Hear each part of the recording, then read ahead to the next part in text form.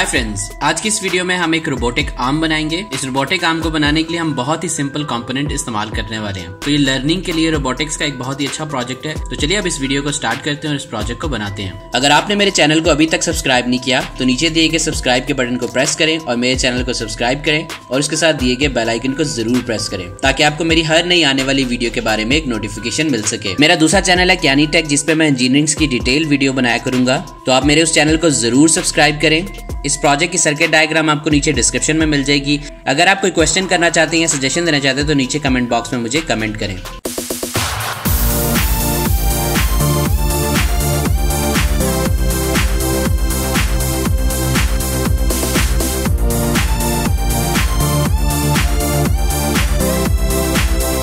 इस प्रोजेक्ट को बनाने के लिए हमें जिन चीज़ों की ज़रूरत है, उसमें सबसे पहली चीज़ है, Arduino Uno board 4 servo motors, crocodile clip,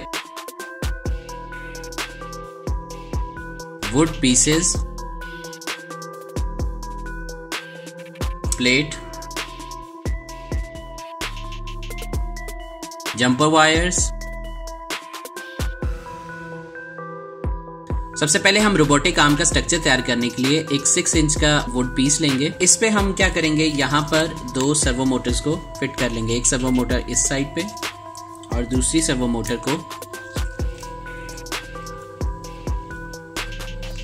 इस जगह पे फिट कर लेंगे। तो सर्वो मोटर्स को मैं फिट करने के लिए सिंपल वे बताऊँगा। इसमें मैं यहाँ पर दो होल्स कर लूँगा। एक होल इधर, एक होल मोटर के इस साइड पे और इसे वायर से टाई कर लूँगा। आप केबल टाई भी यूज़ कर सकते हैं इसके लिए। इस तरह से पहले दो मोटर्स को लगाऊँगा यहाँ पर। उसके बाद हम क्या करेंगे? एक वुडन पीस को यहाँ पर इन सर्वो मोटर्स के साथ ऐसे कनेक्ट कर देंगे। और यहाँ पर एक तीसरी सर्वो मोटर आएगी, जो कि इस जगह पर लग जाएगी।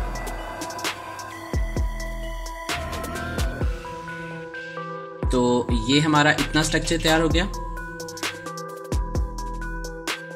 ग्रिपर के लिए मैंने ये एक क्रोकोडाइल क्लिप था बड़ा, जिसको मैंने मॉडिफाई किया। इसमें ये बॉल पॉइंट पेन का स्प्रिंग लगा लिया है और ये मैंने बना लिया इसका ग्रिपर जो कि चीज़ को, किसी भी चीज़ को ग्रिप करने के लिए तो ये, जैसा कि ये वुड का पीस है तो ये इसको ग्रिप कर रहा है।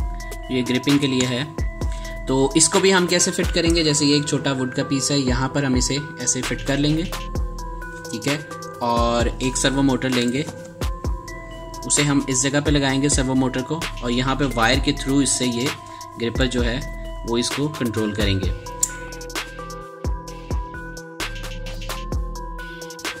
ये ग्रिपर जो है, ये सबसे पहले वाली मोटर के साथ यहाँ पे ऐसे फिट हो जाएगा। इस तरह से इसे हम यहाँ पर अटैच कर लेंगे इसके साथ। तो ये इस तरह से अटैच हो जाएगा। तो कुछ इस तरह का हमारा ये रोबोटिक आर्म का स्ट्रक्चर बन जाएगा। सबसे पहले तो हम इसको तैयार कर लेते हैं। उसके बाद फिर हम ऑडिनो को इसके साथ कनेक्ट करके इस आम को चला के देखेंगे। तो चलिए, अब इस आम को फिक्स करते हैं।